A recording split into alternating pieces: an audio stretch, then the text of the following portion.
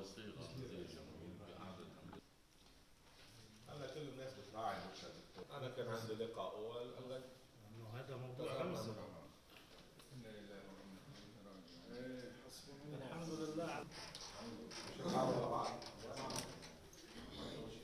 إن إعلان الرئيس الأمريكي دونالد ترامب القدس عاصمة للكيان الإسرائيلي الغاصب لفلسطين هو أسوأ وأخطر وأدهى إعلان يتجرأ على إصداره رئيس الإدارة رئيس للإدارة الأمريكية بما ينطوي عليه من تداعيات كارثية تهدد الأمن والاستقرار الإقليمي والدولي.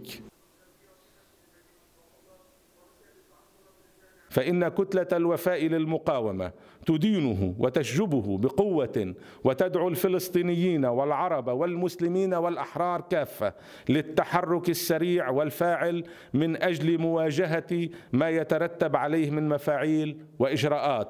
وتؤكد أن النهج الوحيد لاستعادة الحقوق هو نهج المقاومة لا سيما وأن الإعلان الأمريكي قضى بشكل مبرم على النهج التفاوضي وبدد أوهامه.